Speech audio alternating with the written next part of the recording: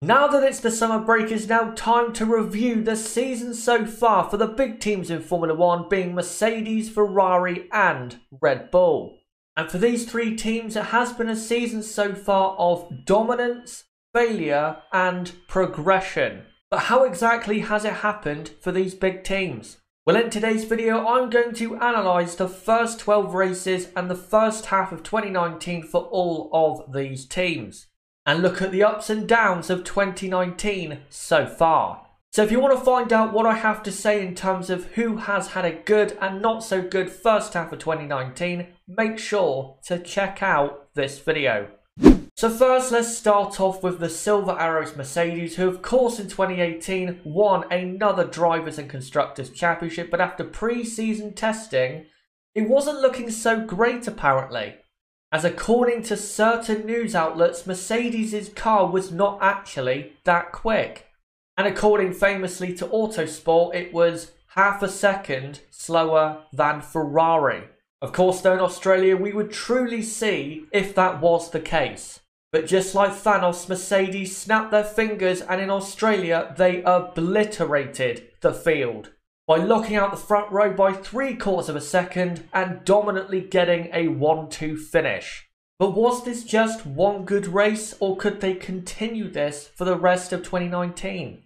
Well, in Bahrain pace-wise, they did not have the quickest car, but they did capitalise massively on Ferrari's misfortune and also their own mistakes. And somehow, someway went on to claim another 1-2 finish in Bahrain.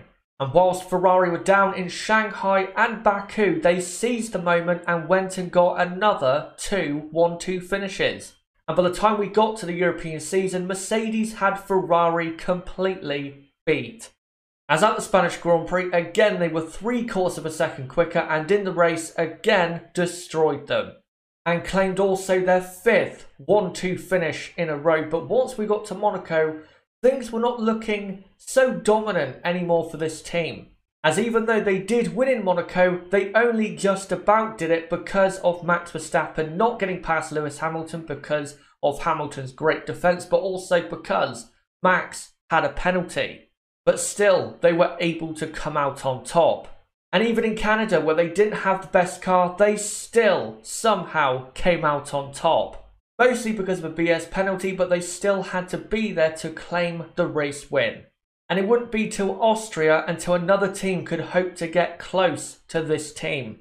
Where in Austria, they were finally defeated, as Ferrari were much faster during the weekend, and on race day, they suffered overheating issues, leading to them only finishing in P3 and P5.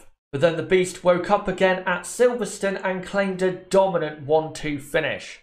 Then came Hockenheim, which is possibly one of the worst races in the team's history, as they were leading 1 and 2 in the classic wet dry race, and then it all fell apart due to errors by the team and the drivers. And the best they could get from that race was P9, and it seemed as though at that time the team was quite down.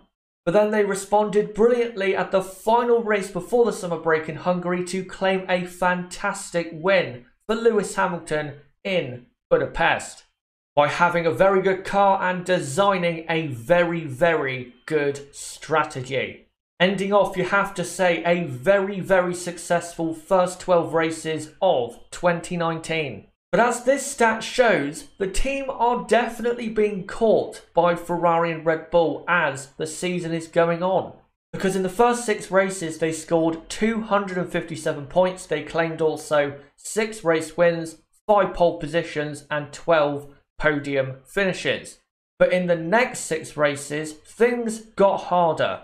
As their points tally dropped to 181, they had four wins, three pole positions, and seven podiums, which is, of course, still very, very good, but not as good as the first six races. So, without a doubt, this team is being caught, and that's a big, big reason for why you should continue to watch Formula One until the end of the season. But now let's get on to the drivers' battle between Lewis Hamilton and Valtteri Bottas. Now, in the first five or six races, things were very close at the very top of the Drivers' Championship. Valtteri Bottas was looking good, looking very quick in qualifying, and has in the first 12 races looked very quick in qualifying, but after Monaco, where Lewis claimed a brilliant win, he really has romped away from Valtteri Bottas, and Valtteri rarely has got the better of Lewis Hamilton ever since the Monaco Grand Prix. And for me, Lewis has been the better driver. Valtteri has done very well, especially in qualifying against Lewis Hamilton. But I think Lewis will claim his sixth World Championship, and I think Valtteri Bottas, even though his form in the last couple races hasn't been that good, I think Valtteri, as I'll get onto in a future video coming out in about a week's time, I think Valtteri has done enough to claim a seat at the team for 2020 for sure. But as I've said, going forward for the rest of 2019, because Ferrari and Red Bull are catching up to them, it will be a tough final nine races of the season. But of course, being the great team that they are, it's going to be very, very hard to stop them. But now let's go on to Ferrari, who have had, let's say, an interesting 2019. So in pre-season testing, despite a couple small reliability issues, it looked as though Ferrari had the best car on the grid. And in terms of the Constructors' Championship, they were the favourites going into 2019. But after the first 12 races, testing feels a long, long time ago. As once they got to Melbourne, because of reliability issues and packaging issues with their bodywork, they were miles off the pace and because of that got their asses whipped by Mercedes and even got beat by the Red Bull of Max Verstappen to a podium finish. But maybe that was just one bad race. Maybe things once we got to Bahrain would actually improve and showcase how quick the Ferrari car of 2019 really was. And well, in qualifying, it did because they locked out the front row and were looking great during the first half of that Grand Prix for a 1-2 finish and a great race win. But then in true Ferrari style, things completely unravelled. As Sebastian Vettel, right after his second pit stop, bottled it, lost his front wing, spun the car, and finished back in fifth place because of it. And then, with about 10 laps to go, with Charles Leclerc leading the Bahrain Grand Prix for Ferrari, his power unit, not for the first time and not for the last time, let him down costing Ferrari their first win of 2019 and Charles Leclerc finished in P3. That was just an omen for things to come. Once we got to Shanghai, Ferrari were not on the pace of Mercedes at that Grand Prix and were seemingly only fighting themselves with Sebastian Vettel and Charles Leclerc. But no matter, here we come to Baku where Ferrari are expected to be very, very quick. And in practice, Ferrari did look very, very quick. But again, in true Ferrari style, they completely bottled it. As Charles Leclerc crashed in Q2 and Sebastian Vettel could not hook up a lap to get pole position or even be on the front row of the grid, leading to another massively unsuccessful weekend for Ferrari. But Ferrari would stop at nothing to try and close the gap to Mercedes as they brought the new Spec 2 power unit to the Spanish Grand Prix in a hope to try and close that gap despite not coming to a circuit where power is important. And due to the Ferrari car design being absolutely terrible, they got their asses kicked again in Spain. Results wise, though, things started to improve at Monaco as Sebastian Vettel surprisingly finished in P2. But in no means was it a good weekend for Ferrari as they completely destroyed Charles Leclerc's home Grand Prix for Ferrari as they failed to send him out at the end of qualifying 1 to go and get into qualifying 2, meaning he was knocked out. And then in the race, in an act of desperation, he crashed out of the Grand Prix. But in Canada, for the first time since Bahrain, Ferrari had the fastest car that weekend. And were looking great for race victory, especially after Sebastian Vettel's first and only pit stop of the Grand Prix where he maintained the lead. But then Lewis Hamilton started to close up to him and put on the pressure. And in true Sebastian Vettel style, he bottled it, went across the grass at turn 4 and got a penalty for what he did. Again, as I said earlier, I don't agree with the penalty, but Sebastian did bottle it. And that of course led to Sebastian getting a 5 second time penalty and Lewis won the Grand Prix. So Ferrari again, unsuccessful that weekend. But they were not happy with the penalty and the result, so they decided to appeal against the penalty. Because according to Ferrari, they have some brilliant new evidence to try and overturn this decision.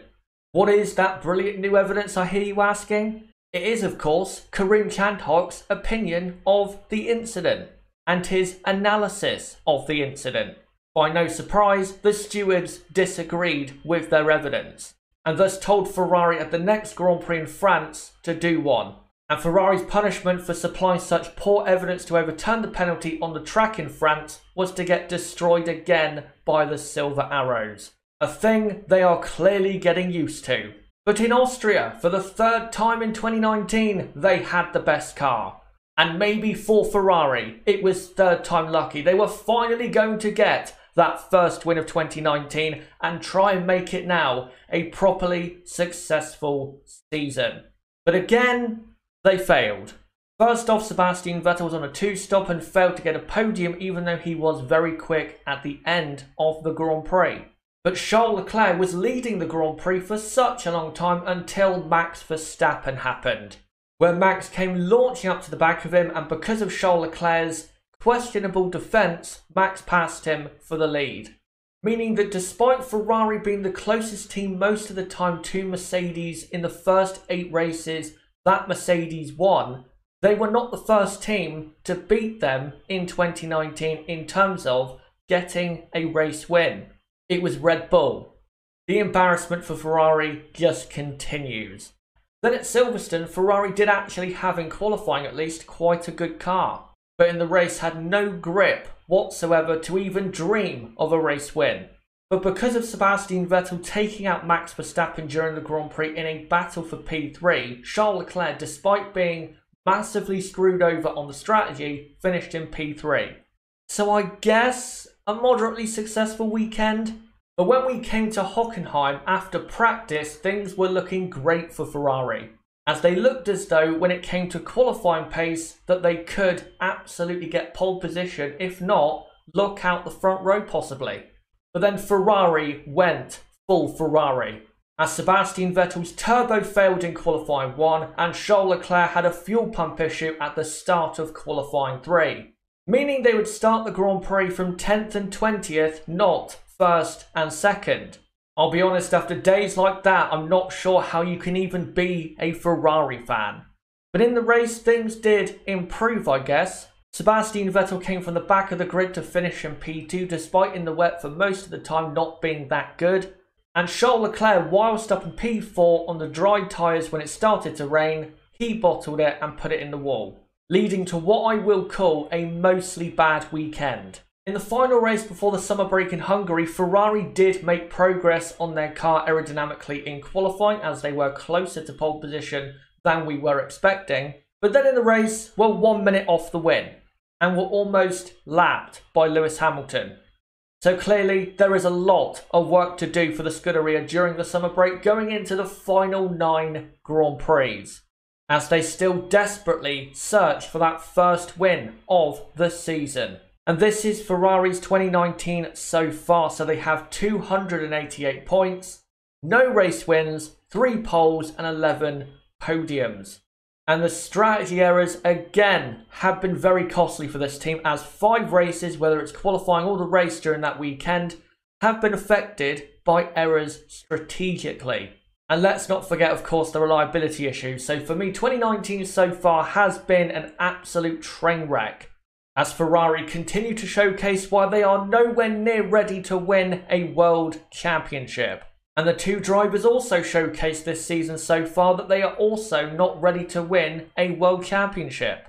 As Sebastian Vettel for most of the season has not been that great, even though he has been unlucky at times, he hasn't actually been that great in the Ferrari car. He's had a couple good performances such as Canada and Germany and even Hungary, but a lot of the races have either been bad or just kind of meh. With Charles Leclerc, it's a very Jekyll and Hyde situation. Charles Leclerc is either doing absolutely brilliantly or putting it in the wall. And that basically sums up his 2019. He has been very inconsistent and has been making, by his own admission, way, way too many errors. And even though the Ferrari car has not been that good and the strategy has been poor and the reliability has been an issue, you definitely cannot tell me that the two drivers are at their best because they're not. And they both still have work to do to get the best out of themselves on a consistent basis. But going forward for the rest of 2019, Ferrari will have their chances to win a Grand Prix, but knowing them, they will not get it. Because with Ferrari, anything that can go wrong will go wrong.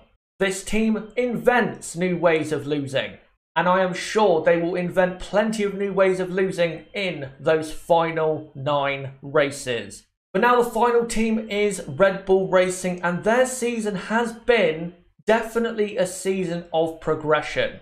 First off, pre-season testing for Red Bull was pretty good as they were mostly reliable and the pace of the car was not too bad. And the first race of the season for Red Bull with Max Verstappen was very good as they got the first podium of the season for Red Bull and Honda's first podium in a very, very long time. But then in Bahrain, Shanghai, and Baku, we saw evidence that the Red Bull car aerodynamically was not quite at it yet and wasn't quite working in the way the drivers wanted it to or even the team. The Honda power unit was doing fine, but the car did need some work. And at the Spanish Grand Prix, the car did improve as Max Verstappen claimed another good podium finish. And despite not finishing on the podium in Monaco, Max Verstappen was brilliant in that Red Bull car. So there was progression being made, but it wasn't maybe as quick as they wanted it. But then in Canada and France came their two worst races of the season so far in terms of pace, but also result as their car, even compared to the midfield runners, was not that quick and they were nowhere near the top two teams. And they needed a big improvement as soon as possible, and they did get it at the Austrian Grand Prix, their home Grand Prix, where Max Verstappen got a new front wing. And that new front wing, coupled with Max Verstappen's great driving, allowed him to win the Austrian Grand Prix. In a truly epic drive and surely one of Red Bull's greatest race wins. And from that Grand Prix on, you cannot doubt that Red Bull have just took off. As at Silverstone, Red Bull were very, very quick and they were definitely, with Max Verstappen, going to get a podium. And then at Hockenheim, despite the race being a bit troublesome for Max Verstappen, at times he went on to claim a brilliant win and capitalise on the errors of Lewis Hamilton, Valtteri Bottas and Charles Leclerc claiming Red Bull's second win of 2019 after only 11 races. And even though they did not get the race win in Hungary, Max Verstappen was able to get his first ever pole position, and Red Bull, pace wise, with Max Verstappen, looked as though they were very, very competitive. And because of the performances and the competitiveness of their car in the last couple races, Red Bull should continue that for the rest of the season. But now let's get on to the drivers. First off, Max Verstappen. Now, Max, for me, has been the best driver of 2019. He has consistently got the best out of the Red Bull car, even when the Red Bull car hasn't actually been good enough to finish in certain positions that he has put it in. And he has been pace-wise just fantastic. And I really cannot fault him for any part of this season. And if he continues this level of performance, then I think Red Bull will probably win another two or three races. And given how the Red Bull is progressing and how Max Verstappen is driving, I think Max will probably finish P2 in the drivers, and I think Red Bull will probably finish P2 in the constructors as well. But who's that other driver that drives for Red Bull Racing? It's, uh, oh yeah, it's Pierre Gasly. I almost forgot he was a Red Bull driver and driving in a top team because he's been in the midfield for the entire season.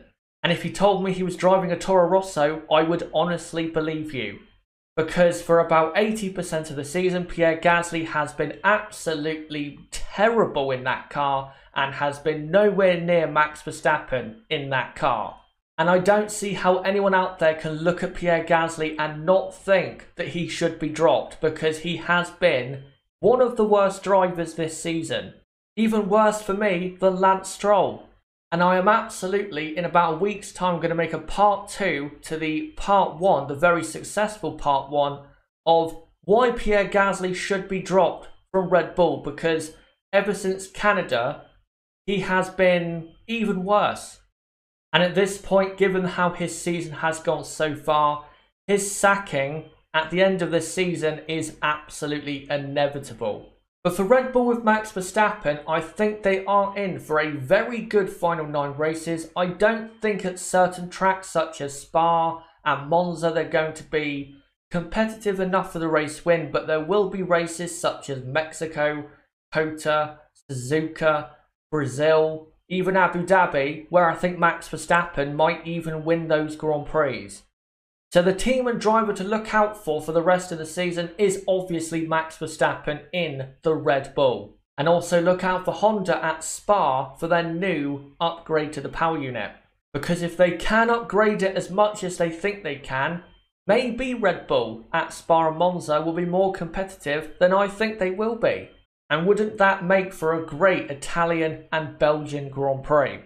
But that's it for this first part of my mid-season review. But before I go, let's look at the Drivers' Championship standings. So Lewis Hamilton is leading, of course, in P1 of the Drivers. Valtteri Bottas is just about in P2, about to be overtaken by Max Verstappen, who is in P3. Sebastian Vettel is P4, ahead of Charles Leclerc in P5. I think Sebastian does deserve to be ahead of Leclerc so far this season for sure. Pierre Gasly in the Toro Rosso is in P6 ahead of Carlos Sainz in P7 who has been great this season as I'll get on to tomorrow in my review of the midfield. And then P8 Kimi Raikkonen, P9 Daniel Kvyat mostly because he finished on the podium and P10 Lando Norris. But going ahead for these top teams, we are in for a great final nine races of the season because at certain racetracks, we are going to have great battles between different teams and different drivers for the race win. For example, Ferrari at Spa and Monza and even Brazil are going to be very, very competitive for the win. And for Red Bull, they'll be very competitive for the win at Singapore, Suzuka, COTA, Mexico, and even Abu Dhabi in Brazil. But the one team that will be there consistently is, of course, the Silver Arrows Mercedes who you have to say this season have been absolutely the class of the field. But guys, that has been it for this video. Let me know in the comments what you thought of this video and what did you think of what I had to say based on their seasons so far. But guys, thank you very much for watching. Don't forget to subscribe for more content like this. Bottom right of the screen, you can do it right there. Or click my channel name, go to the homepage and subscribe. And hit the notifications bell and also smash the like button down below. And yeah, my next video, which will be the mid-season review of the midfield, will be out tomorrow at 12pm UK time. So until then, guys, it has been me, Chazza HD. Goodbye.